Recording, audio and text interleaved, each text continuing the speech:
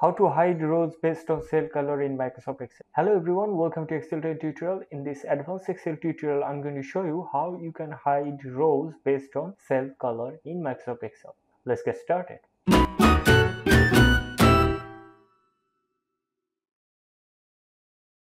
In this tutorial, I'm going to use Visual Basic for applications. So first you need the developer tab here. If you don't have developer tab, please check out this tutorial and you will learn how to add developer tab. Once you have your developer tab added here, just click on the developer tab, click on Visual Basic, click on insert and then click on module. Okay.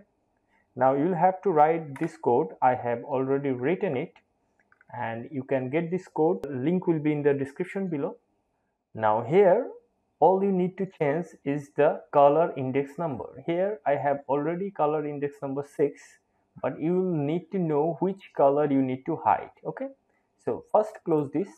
And in the previous tutorial i have showed you how you can create a custom function to get color index number. I'm not going to show you in this tutorial. You can check the tutorial here. And now i'm going to write the formula to get the color index number okay?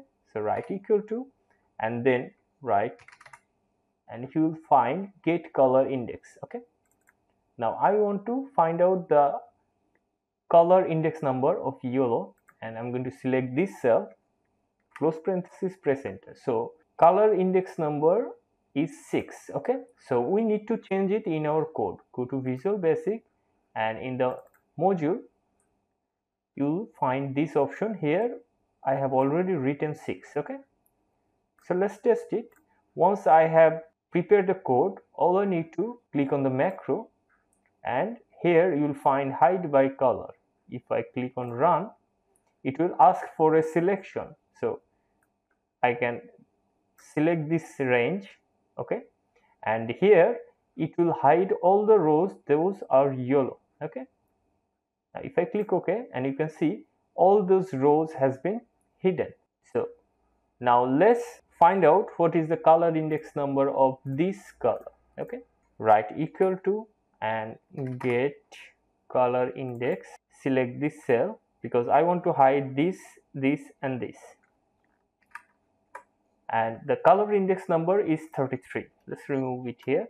So I'm going to change this inside the code. Click on visual basic. And here you can see in this part only change this line. I'm going to remove 6 and add 33 close this. And if i run the code again by clicking on macro and click on hide by color it will ask for selection. If i click ok and you can see those row has been hidden so this is how you can hide multiple rows based on cell color okay it doesn't matter how long your data set is you can still do it all you need to do is change the color index number inside the code and you already know how to get color index number. So this is what I wanted to show you in this tutorial. Share this video with your friends and don't forget to subscribe. If you can support the channel through Patreon or you can use super thanks. Thank you. Thanks for watching. See you in the next tutorial.